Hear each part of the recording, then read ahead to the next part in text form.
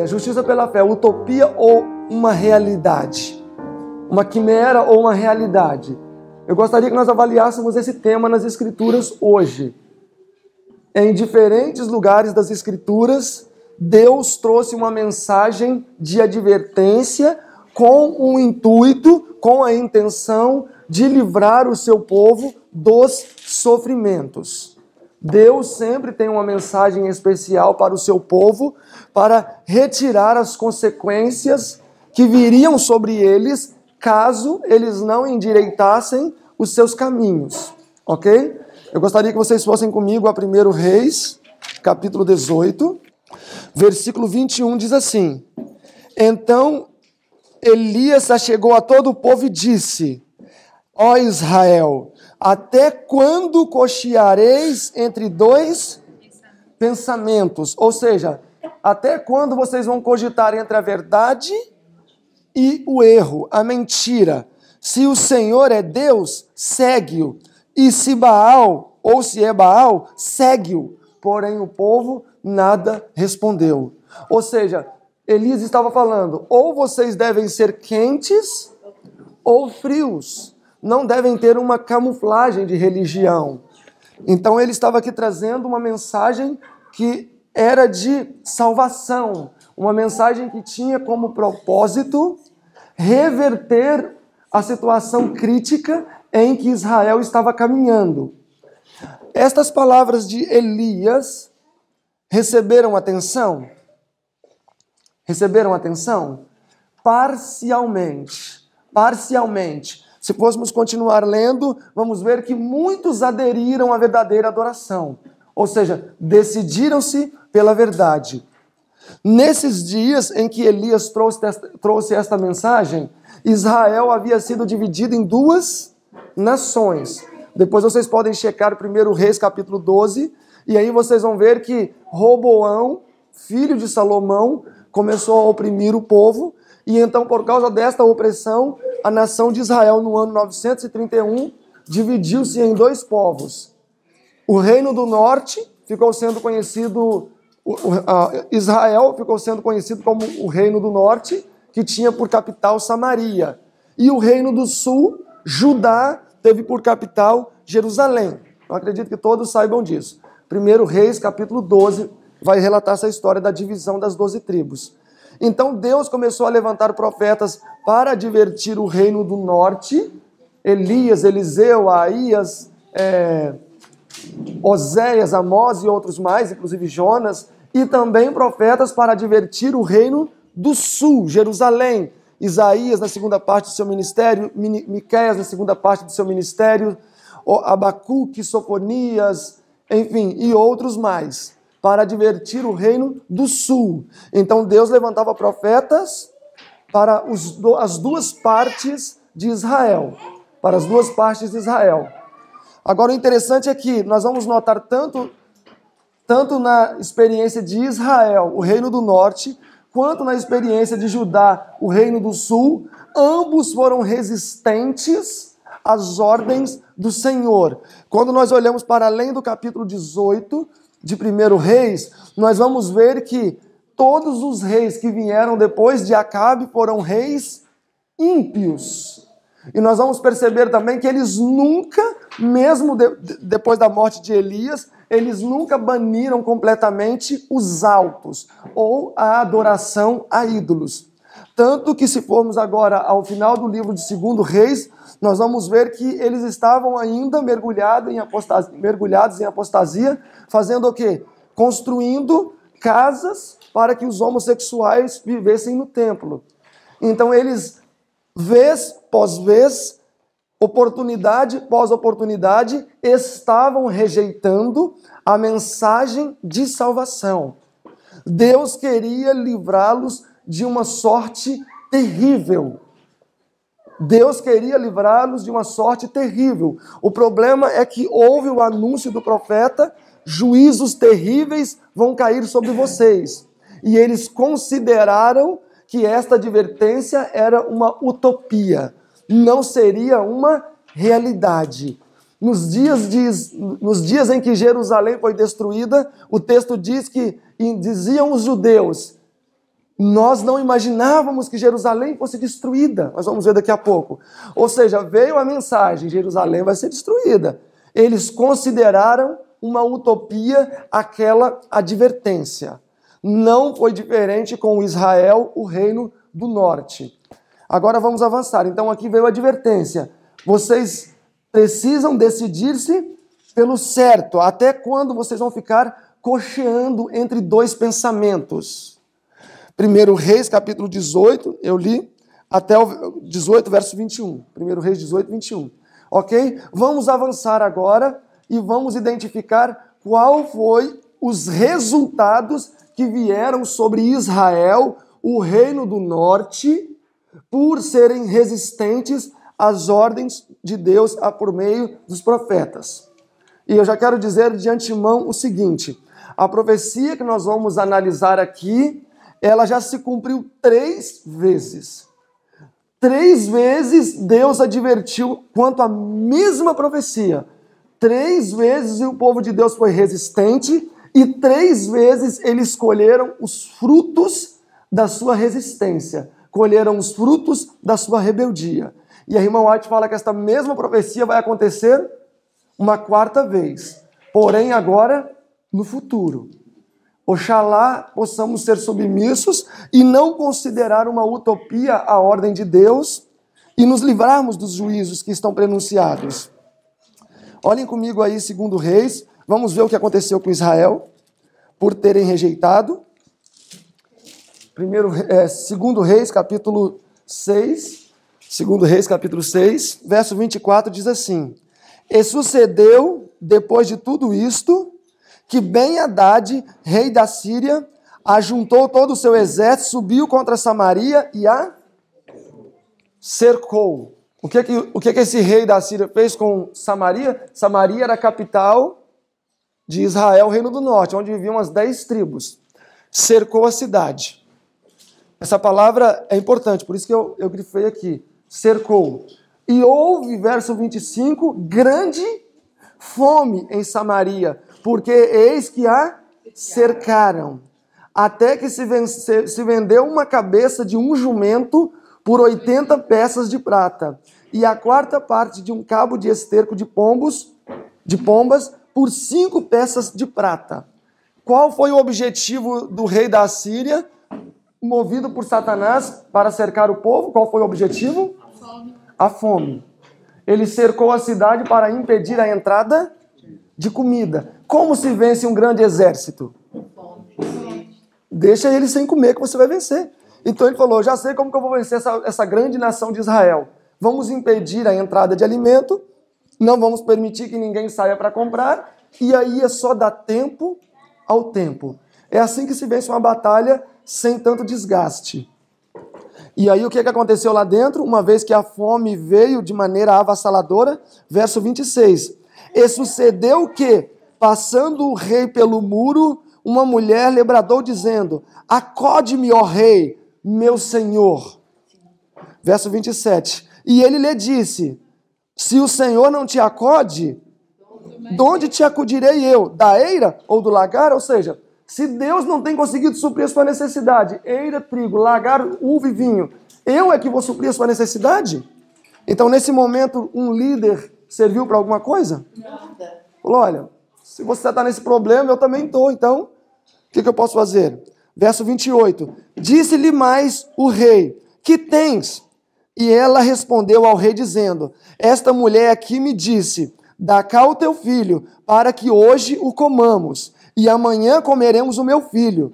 Comemos, cozemos, pois, o meu filho, e o comemos. Mas dizendo-lhe eu ao outro dia: Dá cá o teu filho, para que o comamos agora. Ela escondeu o seu filho ela escondeu seu filho para que né, não fosse devorado. Então, por causa do cerco, foi impedido a entrada de alimento. As pessoas caíram num estado de fome tão grande, tão grande, já tinham comido, segundo o texto, até o esterco dos pombos que passaram a comer o quê? Os próprios filhos. Sou eu quem estou dizendo isso? Então, quantos acreditam que isso é uma verdade, que aconteceu? Porque é a Bíblia que está dizendo que por causa da fome, por causa do negror da fome, os pais chegaram a devorar mesmo os próprios filhos, mesmo as suas crianças. Então, notem que a tática de Satanás foi cercar para privar do alimento. E o resultado foi que, por negligência, porque Elias havia falado, Eliseu havia falado, Aías havia falado, Jonas havia falado, Oséias havia falado, Amós havia falado, e outros profetas mais haviam falado, haviam falado. E o que, que eles fizeram? Consideraram uma utopia estas mensagens. Aonde quer dizer que vai vir alguém e nos destruir a grande nação de Israel, que bota os exércitos em fuga? Não, isso não existe. Mas eles negligenciaram, achando que aquilo que Deus havia dito que iria acontecer não aconteceria por ser demasiado terrível. Então, meus irmãos, esta esta profecia teve um cumprimento exato na experiência de Israel. Só que Deus é misericordioso. Ele permitiu que outros profetas se levantassem para o reino do sul, Jerusalém, para que Jerusalém não caísse nesta mesma desgraça. Olhem aí comigo Jeremias, Jeremias capítulo 19, diz assim no verso 3: E dirás: Ouvi a palavra do Senhor, ó reis de Judá, moradores de Jerusalém. Assim diz o Senhor dos exércitos, o Deus de Israel: Eis que trarei um mal sobre este lugar, e quem quer que dele ouvir, retire-lhe-ão os ouvidos. Então Deus iria trazer um mal muito terrível, ao ponto das pessoas falarem: não, não, não. Não fala não, quando dá aquele tinir no ouvido. Mas mesmo assim, mesmo Deus falando: olha, vai ser muito duro que eu vou trazer. Vai ser muito duro. Deixem aberto aí, olhem o capítulo 7 de Jeremias. Deixem aberto aí, olhem o capítulo 7. Deus falou: olha, eu vou trazer algo terrível sobre vocês, Israel. Por favor, convertam-se e quando a mensagem de repreensão vinha, o que, que eles diriam? O que, que eles diziam?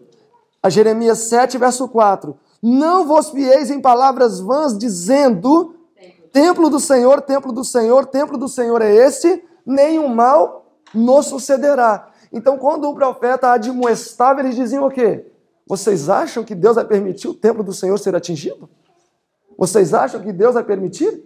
Deixem aberto em Jeremias 19 e olhem também Miqueias. Vinha a reprovação e qual era a atitude do povo de Deus? Não, isso não vai acontecer. Templo do Senhor, aqui é o templo do Senhor. O Senhor não vai destruir esse lugar. Miqueias 3, o versículo 11 diz assim: Os chefes de Israel dão as sentenças por suborno. Os seus sacerdotes ensinam por interesses. E os seus profetas adivinham por dinheiro, e ainda se encosta, e ainda se encosta no Senhor dizendo: Não está o Senhor no meio de nós? Nenhum mal vai nos acontecer. Então vinha a mensagem de repreensão e o que eles diziam? Não. É o templo do Senhor, nós somos o povo escolhido. Não vai acontecer nada. Israel era o povo escolhido? É claro que era. É claro que era, mas ser um povo escolhido não nos garante segurança andarmos rebeldemente contra o Senhor. Porque Israel era o povo escolhido. O que aconteceu no ano 34 com esse povo escolhido? Foi rejeitado. Foi rejeitado. Então, eles diziam: Templo do Senhor, Jeremias capítulo 19. E Deus disse no verso 3: Eis que trarei um mal sobre vocês. E o mal vai ser tão terrível, Jerusalém, que vão retinir nos seus ouvidos. Notem que aqui nós já estamos bem depois da destruição de, de, de Samaria, Israel. Aqui nós já estamos perto do ano 586 antes de Cristo, quando Babilônia destruiu Jerusalém. Ok? Avançando o capítulo 19, verso 4. Não, Jeremias 19. Voltar Jeremias 19, verso 4. Vamos lá, Jeremias 19, verso 4. Leia para nós, amigão. Porque eles me abandonaram e profanaram este lugar, oferecendo sacrifícios a deuses estranhos, que nem eles, nem seus antepassados, nem os reis de Judá conheceram, e encheram este lugar com sangue de inocentes. Então vinha, vinha a mensagem: olha, Eu vou trazer um mal sobre esse povo. Eu vou trazer um mal sobre essa cidade. Convertam-se, convertam-se. E por que, que esse mal viria? Olha o verso 5. Construíram nos montes os altares dedicados a Baal, para queimarem os seus filhos como holocaustos oferecidos a Baal, coisa que não ordenei, da qual nunca falei, nem jamais me veio à mente. Então, essa era a condição de Israel, de Judá, na verdade, né? E quando vinha a repreensão, eles diziam o quê? Nós somos o povo de Deus. Não vai acontecer. Templo do Senhor, ou seja, o centro de adoração é aqui. O templo está aqui, nada vai nos acontecer. E Deus estava dizendo no verso 3: Eu vou trazer um mal sobre vocês. Convertam-se dos seus maus caminhos. Verso 8 de Jeremias 19. Deus advertiu. O capítulo 19 de Jeremias foi uma profecia indicando o que aconteceria com Jerusalém em 586 se eles não se convertessem. Verso 8 diz assim: "E farei e farei esta cidade objeto de espanto, de assobio. Todo aquele que passar por ela se espantará e assobiará por causa de todas as suas pragas." Verso 9: "E lhes farei o quê?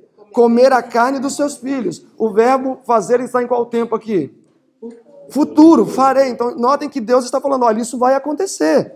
E lhes farei comer a carne dos seus filhos e a carne de suas filhas, e comerá cada uma a carne no- do seu amigo. Onde? No cerco e no aperto em que apertarão os seus inimigos e os que buscarem, buscam a vida deles. Então, novamente, Deus diz que a tática de Satanás seria qual? cercar a cidade. Notem que isso já tinha acontecido, isso já tinha acontecido em Samaria. E novamente Deus disse que iria acontecer a mesma coisa. Interessante que quando Judá olhava para o passado, não estava tão distante. 586 para 722 não está tão longe.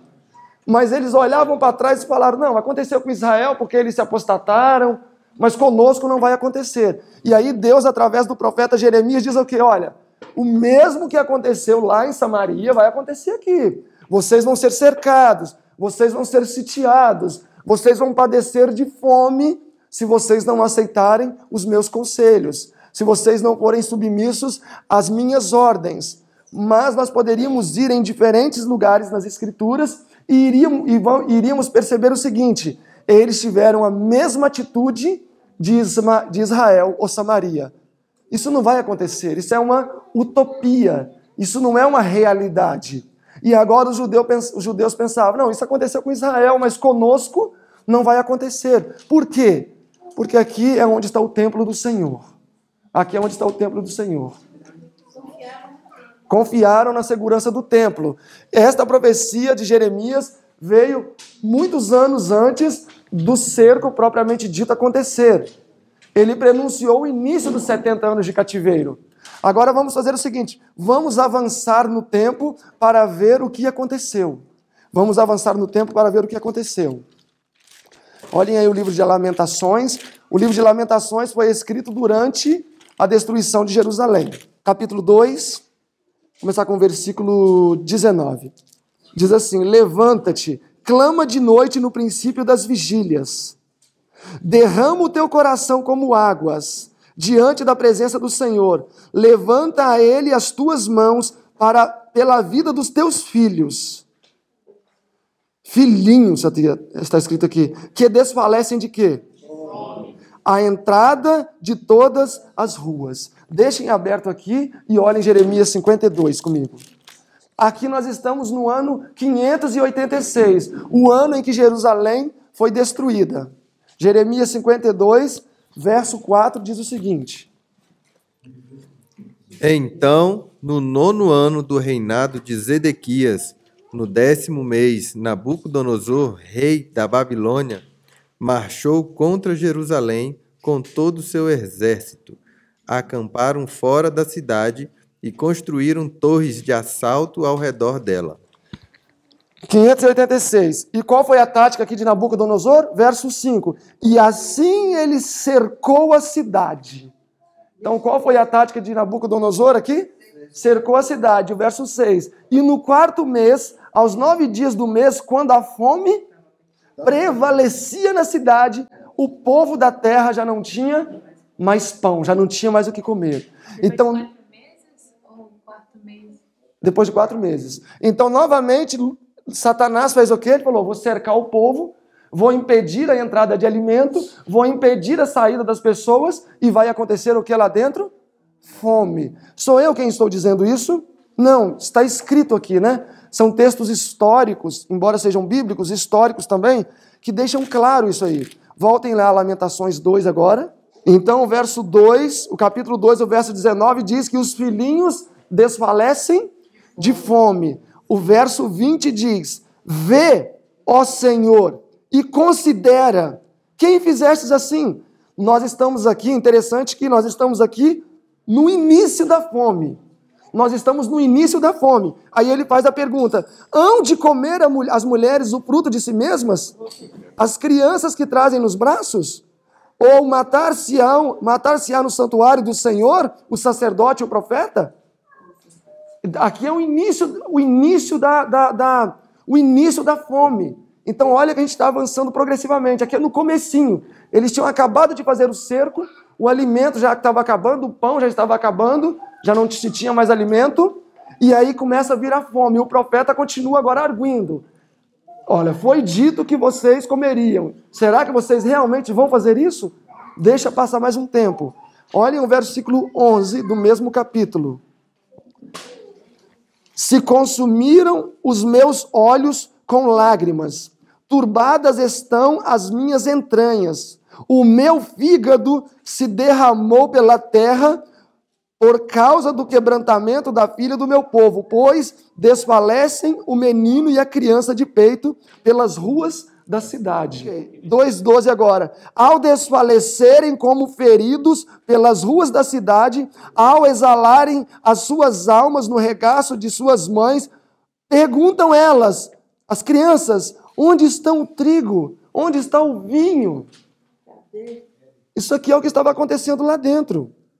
Ali é o que estava destruindo o povo. Verso 14: Os teus profetas viram para ti vaidade e loucura, e não manifestaram a tua maldade.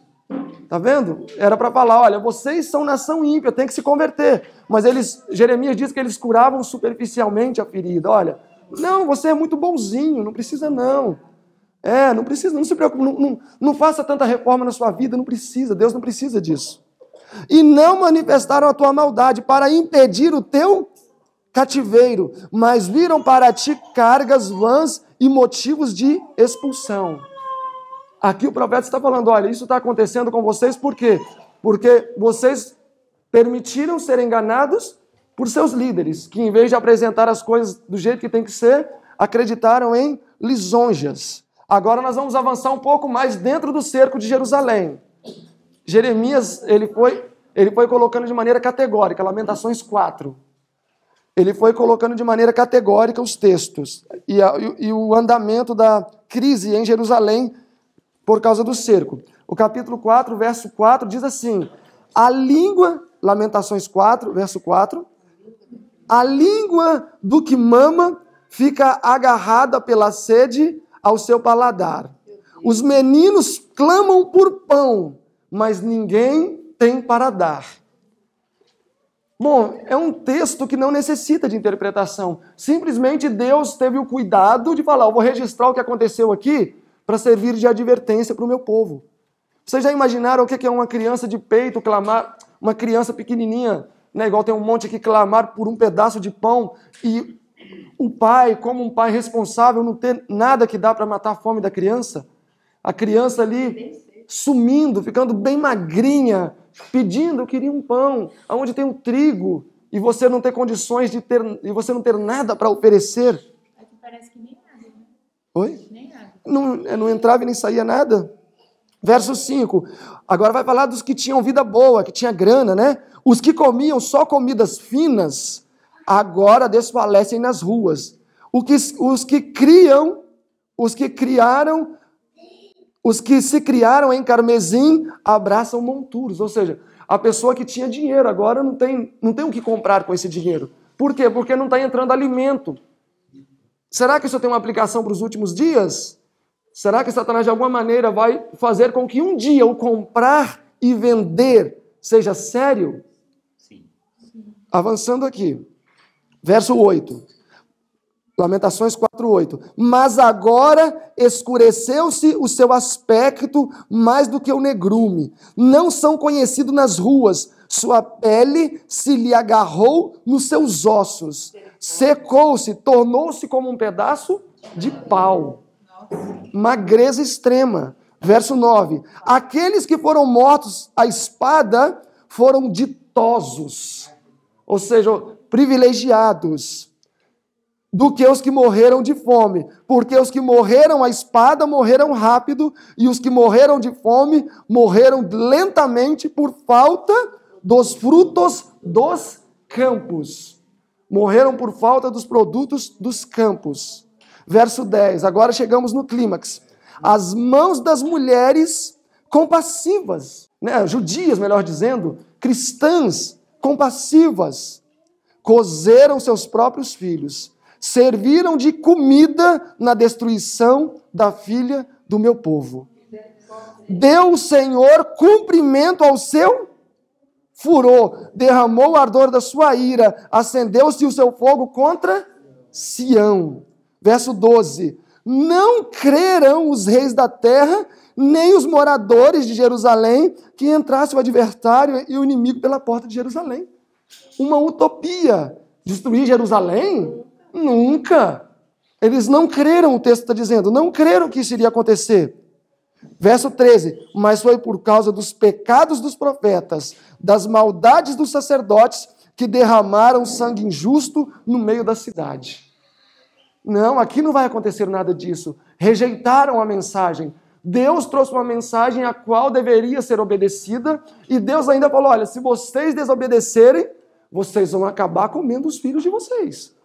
Vocês vão acabar comendo o filho de vocês, se vocês desobedecerem. E eles se fizeram como surdos.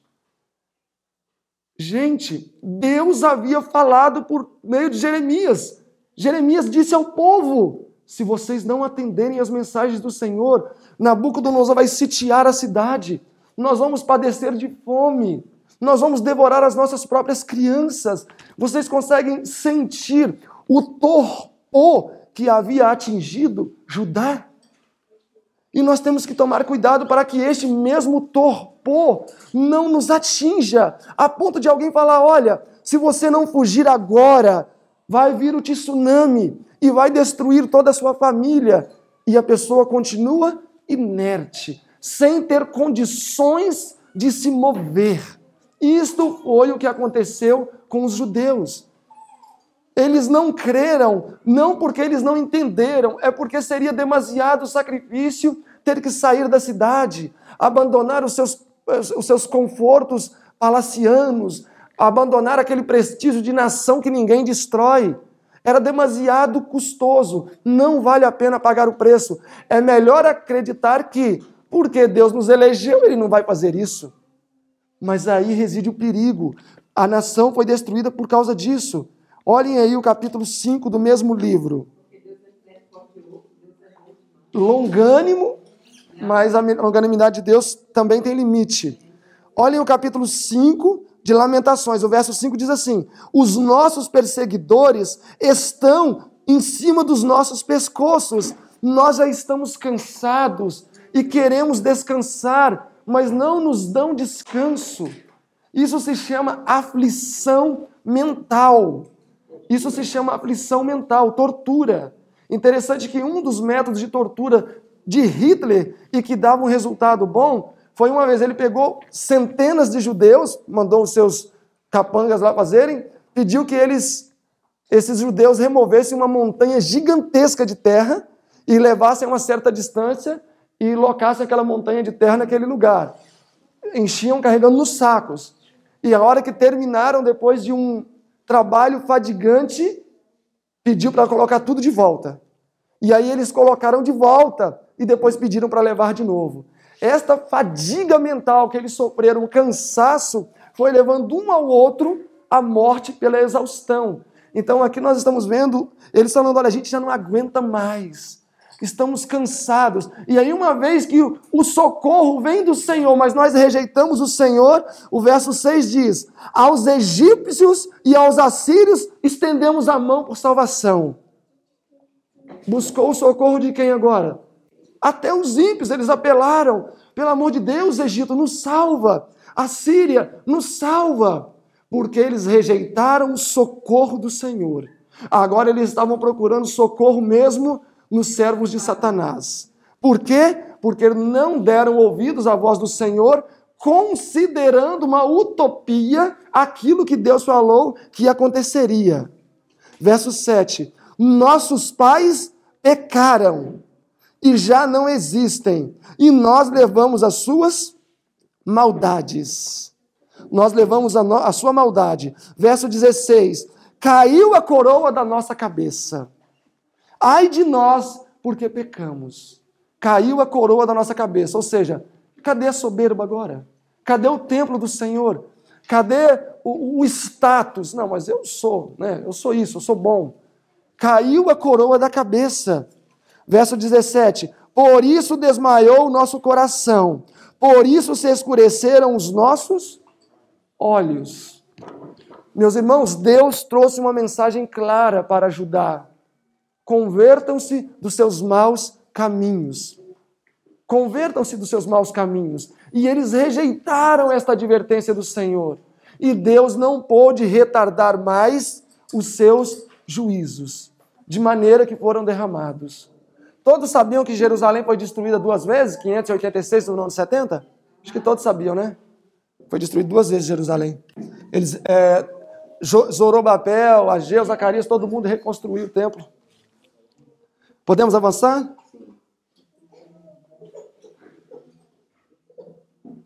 Olhem Ezequiel capítulo 5, outro verso profético. Outro verso profético que indicava o que iria acontecer né, em Jerusalém. Ezequiel 5, verso 5. Assim diz o soberano, o Senhor: Esta é Jerusalém que pus no meio dos povos, com nação ao seu redor. Então, quem instalou Jerusalém de maneira especial? Deus. Agora, o verso 6 já segue dizendo: Contudo, em sua maldade, ela se revoltou contra as minhas leis e contra os meus decretos, mais do que os povos e as nações ao seu redor. Ela rejeitou as minhas leis e não agiu segundo os meus decretos. Então Deus mandava orientação e o que Jerusalém fazia? O texto está dizendo que se rebelavam. Olha, e aí olha o verso 10, a profecia. Portanto, verso 10, futuro, os pais comerão os seus filhos no meio de ti, e os filhos também comerão os seus pais, e executarei em ti juízos, e tudo que restar de ti espalharei a todos os ventos. Quando nós vamos a Ezequiel 8, nós vamos ver que terríveis abominações estavam acontecendo no seio do povo. Ó, o capítulo 8 de Ezequiel fala sobre as abominações no santuário. O verso o verso o capítulo 8, o verso 6 diz assim: E me disse, filho do homem, vês tu os que estão fazendo, as abominações que estão fazendo na casa de Israel, para que eu me afaste do meu santuário, mas ainda verá maiores abominações. O verso 5 diz que eles colocaram uma imagem na entrada do templo. Israel, os, os líderes judeus, colocaram uma imagem à entrada do templo. Isso foi uma abominação. Mas o verso 6 diz que abominações maiores ainda estavam por vir. O versículo 10 diz: E eu entrei, diz o Senhor, e olhei, e eis que toda forma de réptil, répteis e animais abomináveis, e todos os ídolos da casa de Israel estavam pintados na parede do templo e ao redor. Aí, se nós vamos para o verso 12, o final diz: Ainda vocês vão ver abominações maiores. Verso 13: E disse ainda o Senhor: Tornarás a ver maiores abominações. 14. E levou-me à entrada da porta da casa do Senhor, que está no lado do norte, e eis que ali viu mulheres assentadas chorando a Tamuz.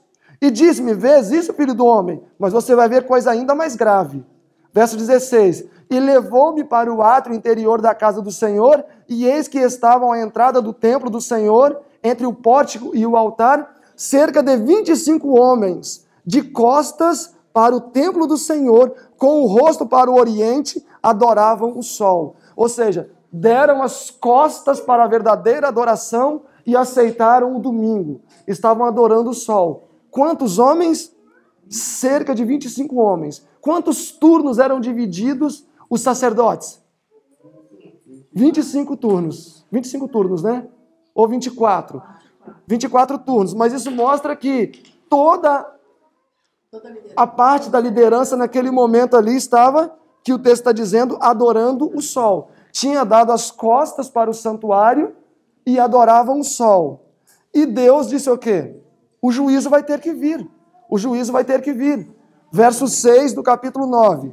Ezequiel 9, verso 6. A ordem foi: mata velhos, jovens, virgens, meninos, mulheres, até exterminá-los. Mas de todo homem que tiver o sinal de Deus, não vos chegueis a ele. E começai por quem?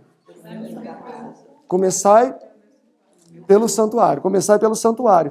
E o juízo veio. Este matar jovens, velhos, crianças, é Deus permitindo o cerco em 586 e aí tudo aquilo que a gente viu lá em Lamentações que veio acontecer. Por quê? Porque rejeitaram a ordem do Senhor.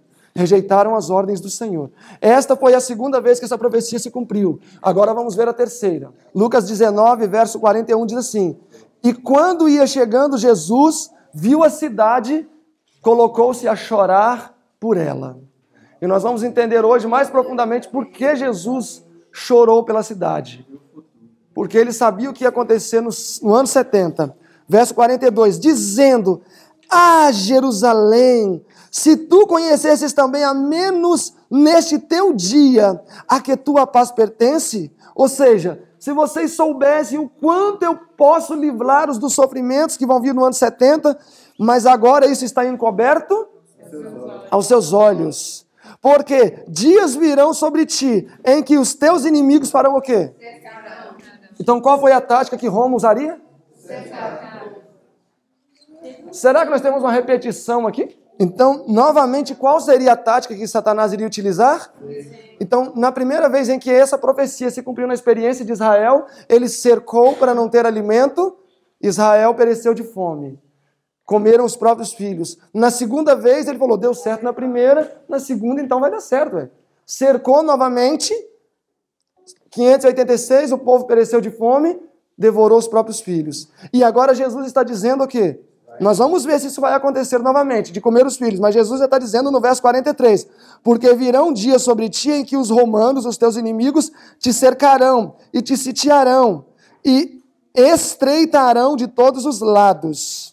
Verso 44: E te derrubarão a ti e aos teus filhos que dentro de ti estiverem, e não deixarão em ti pedra sobre pedra, pois não conhecestes o tempo da sua, da tua visitação. Ou seja, rejeitaram a mensagem. Então vamos lá, verso 40, 44. E te derrubarão a ti e aos teus filhos que dentro de ti estiverem, e não deixarão em ti pedra sobre pedra, pois que não conhecestes o tempo da sua visitação. Ou seja, Deus disponibilizou uma mensagem de salvação, na verdade, pela própria pregação de Jesus, e eles rejeitaram a mensagem. Eles rejeitaram a mensagem. E Jesus, por misericórdia, no capítulo 21 de Lucas, indicou um momento em que eles poderiam fugir sem terem risco para suas vidas. Lucas 21, verso 20. Diz assim, Lucas 21, verso 20. Mas quando vir de Jerusalém cercada de exércitos, sabei então que é chegada a sua a sua desolação, a sua hora. Este primeiro cerco de Jerusalém, na verdade Jerusalém foi cercado duas vezes. Aqui, minha irmã, nesse, nesse caso aqui, Jerusalém foi cercado duas vezes. Um cerco no ano 66 por Céstio, e aí, na verdade, Jesus mencionou esse cerco prévio no ano 66 como sinal. Olha, quando vocês virem que Jerusalém foi cercada, ele não falou o ano, vocês fujam, porque logo depois vai vir a repentina destruição. Então, Deus permitiu que acontecesse um cerco no ano 66 e e assim, sem motivo algum, eles fizeram o quê? recuaram e foram embora. E os judeus falaram: nossa, em vez de falar, é o sinal para fuga, vamos fugir. Eles falaram: olha, Deus botou eles para fugir. É sinal que nós vamos vencer, é sinal que a gente deve correr atrás deles. E foram atrás dos romanos, mataram alguns e botaram eles para correr. E somente os fiéis e sinceros, porque nenhum fiel e sincero morreu em Jerusalém, com exceção do profeta que subiu e desceu gritando sete anos, nenhum escapou, porque eles entenderam que, na verdade, não, esse é o sinal. Esse é o sinal, não é eles que estão em fuga por covardia, não, é Deus dando a oportunidade para que escapemos, para que escapemos. E essa e essa mensagem de que eles deveriam seguir, os, uh, deveriam fugir após o cerco, Jesus disse que seria urgente, porque o verso 21 diz: Então os que estiverem na Judéia fujam para os montes, os que estiverem no meio da cidade saiam, e os que no campo e os que estão nos campos não entrem nela. Ou seja, urgente. Veio o primeiro cerco, não é momento de planejar. Ok, tem que fugir, então já teve o cerco, eu vou me planejar agora. Não, o planejamento deveria vir antes do cerco, porque quando o cerco acontecesse era para sair imediatamente. o texto até diz que aquele que estivesse no telhado não era para não descer, porque demonstrando urgência, pega sua mochila e foge, porque seria urgente, embora ainda fossem ter quatro anos. Mas o que, que acontece quando nós postergamos? A gente se acomoda, vai se acomodando, não. Esperei um mês. Ah, Jesus eu acho que falhou, porque não aconteceu nada. E aí a maioria acabou permanecendo na cidade. Jeremias 52, verso 15. Os mais pobres do povo e a parte do povo que tinha ficado na cidade, rebeldes que haviam se rebelado contra a Babilônia, e, e o mais da multidão, Nebuzaradã, capitão da guarda, levou preso. 16. Mas dos pobres da terra, o capitão da guarda deixou para que servissem como lavradores de vinhas do campo. Então, essa é a resposta à sua pergunta, jovem. Se nos outros cercos existiram pessoas que foram fiéis. Então, segundo Jeremias, existiram sim pessoas que aceitaram pessoas que aceitaram a advertência e tiveram o estilo de vida dentro daquilo que Deus pediu. Boa pergunta. Ok, vamos avançando então. Vamos estudar o terceiro cerco agora, porque Jesus viu algo muito grave, porque ele chorou a hora que ele viu. E ele falou assim: se vocês soubessem o que vai acontecer com vocês. Aí ele disse assim também: ai das grávidas. Das que estiverem amamentando. Das que estiverem amamentando. Nós vamos ver agora. Nós vamos ver agora, não só por isso, porque ai das grávidas. Ai das grávidas. É. Ok, agora todos então vamos nos acalmar e vamos avançar. É, vamos estudar o terceiro cerco, tá? O terceiro cerco está, foi o primeiro a ser relatado. Existe no capítulo 28 de Deuteronômio uma profecia relativa à destruição de Jerusalém. E é justamente essa profecia que nós vamos estudar. Olhem comigo o livro de Daniel, capítulo 8. Nós vamos fazer uma conexão aqui. Daniel, capítulo 8. Todos estão em Daniel, capítulo 8? Verso 23. Eu só quero destacar uma palavra aqui. Verso 23. Mas no fim do seu reinado, ou seja, no fim do reinado da Grécia, depois vocês facilmente verificam isso no contexto, que está se referindo ao reino da Grécia aqui, que aqui apresenta os impérios mundiais, né? Mas no fim do reino da Grécia se levantará um rei feroz de rosto e será entendido em adivinhações. Qual reino veio depois da Grécia? Roma Imperial. Roma Imperial, isso mesmo. E qual reino destruiu Jerusalém? Roma Imperial. Então notem que a Bíblia aqui chama Roma imperial de uma nação feroz de rosto, uma nação feroz de rosto. Tenho esta expressão em mente, nação feroz de rosto, e vamos a Deuteronômio 28. Deuteronômio 28. Deuteronômio 28, 49. Diz assim: O Senhor levantará contra ti, se referindo a quem? A Jerusalém.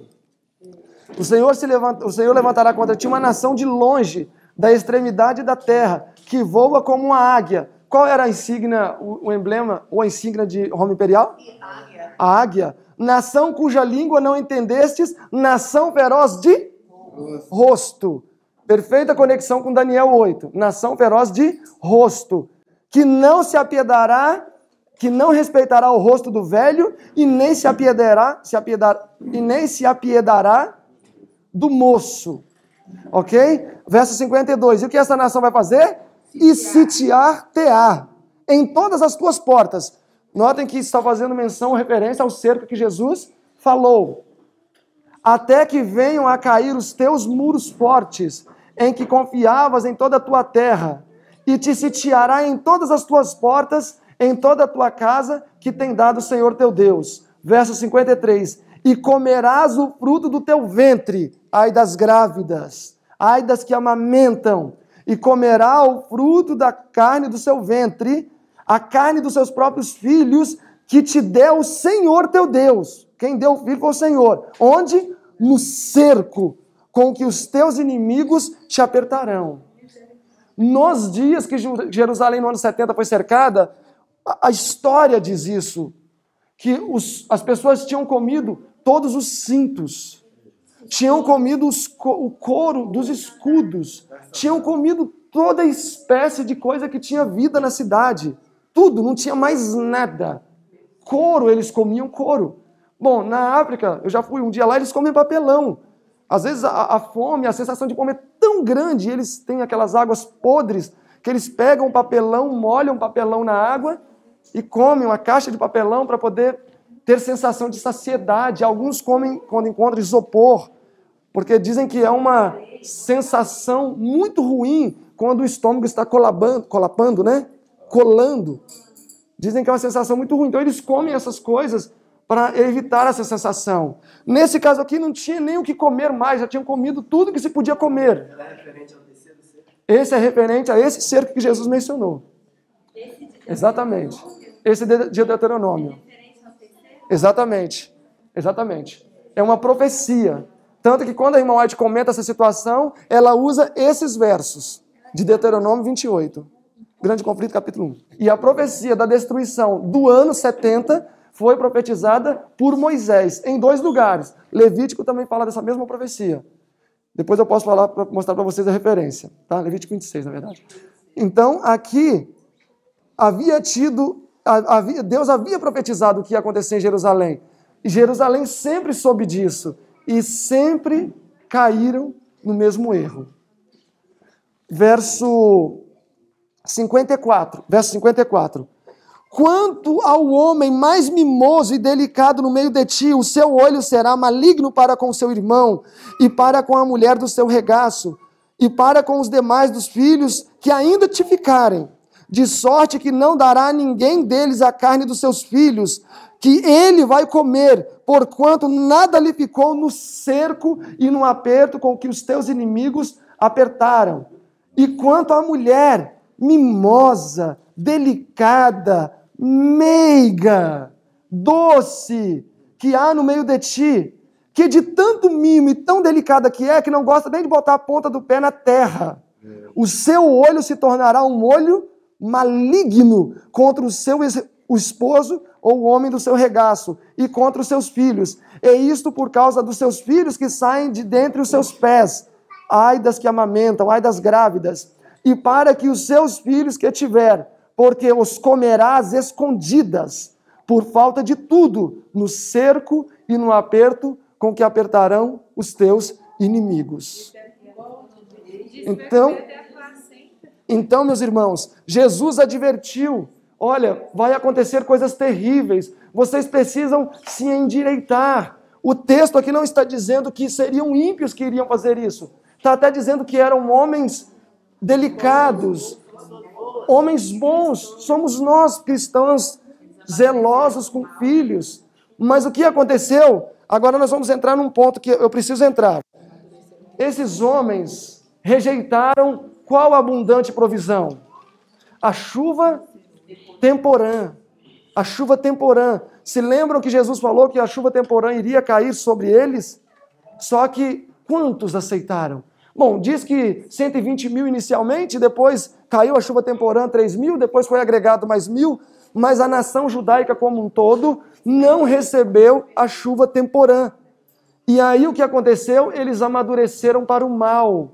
Então nós estamos vendo aqui pessoas que viviam uma forma destituídos da essência. E quando veio a prova, foram derrotados. Quando veio a prova, foram derrotados. A cidade foi totalmente devastada, totalmente destruída. Por quê? Porque foram rebeldes. Nós estamos estudando um assunto muito sério.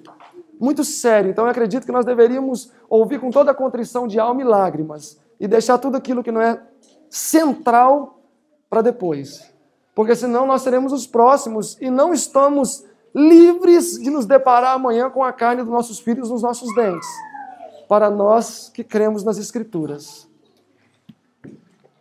Grande conflito, página 26, 25 diz assim: A profecia que Jesus proferiu sobre Jerusalém era dupla em seu sentido ao mesmo tempo que prefigurava a destruição de Jerusalém no ano 70, de igual maneira representava os terrores que iriam assolar o mundo nos últimos dias. Então a profecia diz, Jesus ali diz o quê? Que a profecia era dupla. Teve um cumprimento no ano 70 e há de ter outro. Na página 36 diz assim: a profecia do Salvador relativo ao que deveria acontecer com Jerusalém, vai ter outro cumprimento, do qual todas as terríveis cenas que lá aconteceu foi senão uma pálida sombra. Então vai acontecer de novo com uma diferença. O que aconteceu foi uma pálida sombra. É o que o texto está dizendo. Então agora o quarto cerco, né? É, eu quero contar uma história para ilustrar. Eu já contei essa história, talvez alguns já ouviram. Mas eu já vivi num lugar que tinha um moço, um jovem rapaz de 30 e poucos anos, se casou com uma moça lá de 20 anos, tiveram um filhinho. Eles não eram cristãos, então davam leite para a criança de vaca e davam muita cólica. Naturalmente, a criança nos primeiros meses tem muitas cólicas, né? então ingerindo leite de vaca com açúcar, imagina. E essa criança chorava muita noite, esse pai chegava do trabalho cansado, ele trabalhava na lavoura de café, doido para tomar um banho e descansar, e aquela criança está lá igual uma buzina. Ah! E a mãe ia lá e tentava botar a criança para dormir. E aí teve um dia que esse pai chegou em casa, tomou banho, deitou e está lá a criança pela madrugada. Aí ele botou a mão assim, a hora que a mulher disse, não, não deixa que eu vou lá, hoje eu, eu vou lá cuidar para ele parar de chorar. E aí ele se levantou da cama e saiu. E a mãe continuou deitada. E depois de súbito ela ouviu uma pancada e só um gemido assim, ó, e correu lá. Quando ela chegou lá, ele tinha pego a criança pelas duas perninhas assim e tinha dado na cabeça da criança na quina da porta, da parede assim. E aí a hora que a mãe chegou, não tinha isso aqui mais. Na primeira cepada, uma criança de três meses, já estava só o toquinho assim, ele estava dando o segundo golpe. Essa pessoa é uma pessoa que está em passos largos de amadurecer para o mal. Mas nós, se não aceitarmos as advertências de Deus, faremos isso e coisas ainda piores. Não só faremos isso, como depois faremos o que ainda com a criança? Vamos assá-la e comê-la. Meus irmãos, para quem acredita na Bíblia, nós não estudamos uma utopia, uma quimera, nós estudamos algo que foi realidade. Existem registros históricos que dizem que mesmo os soldados romanos ficaram apavorados com o que viram dentro de Jerusalém pais comendo os próprios filhos. Não é só a, a Deus, não é só Deus falando através da Bíblia, espírito e profecia. Deus ainda permitiu que historiadores registrassem isso para que de alguma maneira servisse de advertência para nós, para aqueles que vivem nos últimos dias. Então nós estamos nos aproximando dos últimos dias, meus irmãos. Haverá um momento em que nós vamos amadurecer. E se eu amadureço para o mal, eu vou praticar toda sorte de iniquidade. Mas eu sempre fui um bom cristão, nem quis botar a ponta do pé no chão. Mas se existe uma nódoa de pecado que diz a palavra, Vida e Ensinos, página 189. Se existe uma nódoa de, da, da, se existe uma nódoa de pecado, não vai ser selado. Vai receber o selo de quem? De Satanás. E aí a pessoa amadurece para o mal. Apocalipse 14 a partir do verso 14 diz que: E eis que veio sobre a nuvem do céu um homem que tinha uma foice aguda na terra, e um anjo saiu do templo e disse: Deu uma ordem, segue a vinha da terra, porque já os seus cachos estão, estão maduros. E então Ele meteu a foice à terra e a terra foi cegada. E foi levado então os frutos da terra maduros para o céu. E saiu outro anjo e disse a um outro anjo que também tinha uma foice aguda: Cega os frutos da terra porque eles estão maduros. E novamente a terra foi cegada, porém esta messe foi para onde? Para o lagar da ira de Deus. Então, qual, é, qual a semelhança entre ímpios e injustos nos últimos dias? Ambos vão estar maduros. Os, um para o bem e o outro para o mal. Então, nesse momento, meus irmãos, aquilo que talvez eu acho que seria impraticável, eu vou praticar com prazer. Eu vou com gosto, com naturalidade. Nós nos aproximamos dos últimos dias. E eu volto a dizer: chegará um dia que eu não vou considerar nenhum sacrifício demasiado para salvar a mim e os meus. O problema é que talvez este momento pode ser muito tarde. Tinha um pai que era ele vivia para o trabalho, vivia para o trabalho, de maneira que o menino dele já tinha oito anos e ele mal sabia o nome, porque ele só vivia no trabalho, saía de madrugada, chegava de madrugada, saía para trabalhar, o menino dormindo, chegava o menino dormindo. Nunca tinha brincado com o menino. A mãe foi fazer uma viagem para a casa do pai, sofreu um acidente, o menino morreu. E aí, depois do que ele fez no velório, ficou o velório inteiro chorando em cima do caixão. E falando, mas eu perdi o tempo, eu nunca brinquei com meu filho. O meu filho às vezes me chamava para brincar, eu não tinha tempo. Final de semana trabalhando. Era minha folga, eu tirava escala para outro, e era isso, e era aquilo. Mas houve um momento em que ele teve tempo, quando ele recebeu um telefonema. Olha, infelizmente sua esposa se envolveu num acidente e o seu filho veio a óbito. Ele não falou, não, espera o velório que eu tenho que terminar meu trabalho. Não. Imediatamente ele foi. Imediatamente foi. E aí ele conseguiu tempo para chorar sobre um caixão, uma vez que ele não tinha conseguido tempo para sorrir com o filho dele. Então existem momentos, muitas vezes, que nós tomamos a decisão para fazer aquilo que é o certo. O problema é que muitas vezes isso já é um pouco tarde demais. Tarde demais. A Bíblia diz em Apocalipse 13, olhem aí comigo. Apocalipse 13. Apocalipse 13, verso 16. Apocalipse 13, 16 diz: E faz a besta, a imagem da besta, e faz que a todos, quantos? Todos, pequenos, grandes, ricos, pobres, livres, servos, lhe seja posto um sinal na mão direita ou na sua testa por quê? Para que ninguém possa comprar ou que ninguém possa vender, senão aquele que tiver o sinal da besta. Então, Apocalipse 13 está falando de um cerco que vai acontecer.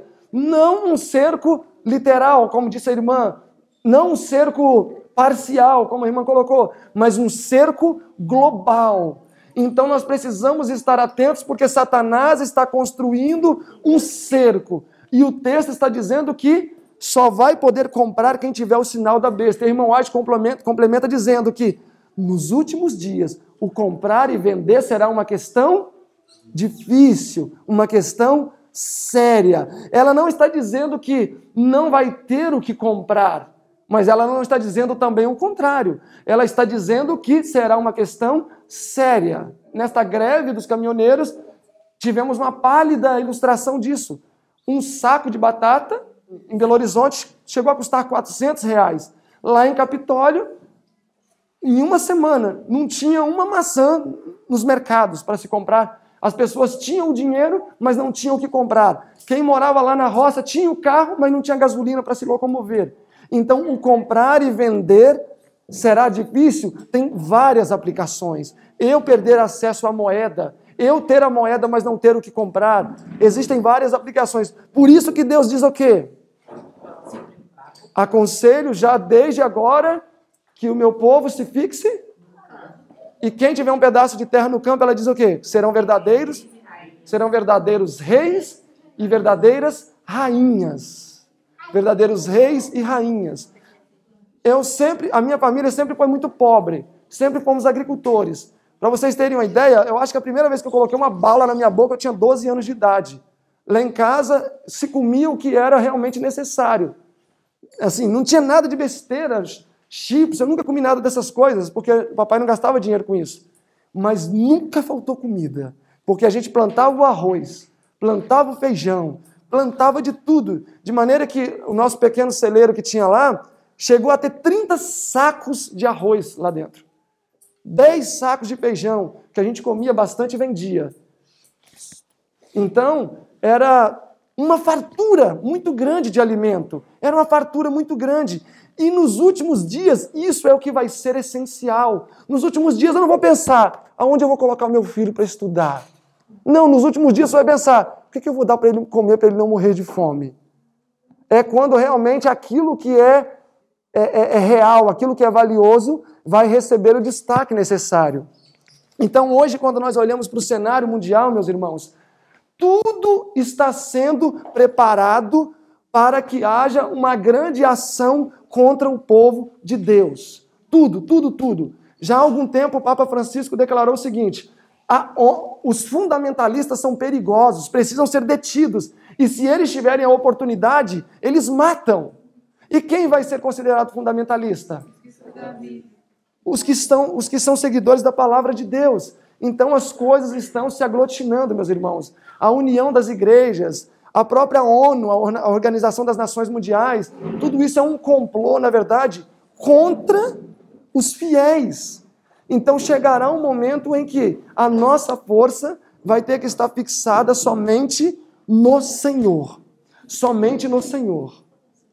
Porque senão seremos achados em falta e se não recebermos a chuva serôdia, praticaremos coisas terríveis que talvez hoje para nós seria uma abominação. Eu gostaria de dizer que o assunto estudado não é para nos meter medo ou nos apavorar, mas se isso acontece, o que podemos fazer? É hora de despertarmos também. Nós não podemos viver esta realidade aqui de Jeremias, capítulo 6.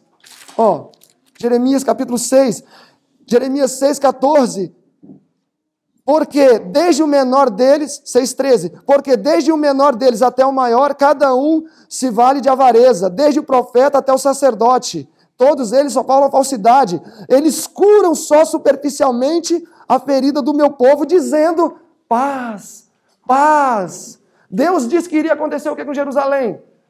Destruição, desgraça, vocês vão comer os próprios filhos. E o que, que eles diziam? Paz, paz, enquanto não há paz. Então é momento de, como povo de Deus, realmente regaçarmos as mangas e deixarmos a palavra de Deus entrar e dividir. O irmão Ott fala: tudo o que é possível se sacudir, será sacudido. E que não sejamos nós os sacudidos, meus irmãos. Que permaneçamos firmes. Bom, meus irmãos, que o Senhor possa nos dar forças, ânimos e que possamos fazer, sabe o quê? Calo nos joelhos. Que possamos fazer calos nos joelhos. Oração para que Deus abra os olhos, para que Deus desembote a mente, para que Deus faça um câmbio de coração, de carne no lugar de coração de pedra. Oração, joelho no chão. E eu tenho certeza que Deus vai se levantar por nós e vai conceder os anseios de nossa alma. Essa é a nossa missão, meus irmãos. Advertir um mundo que está prestes a cometer as maiores atrocidades que esse universo um dia presenciará. Que Deus possa ter misericórdia de nós e ajudar-nos a não ser estes e ainda mais, a divertir alguns, como diz a palavra, a divertir alguns. Amém? Amém.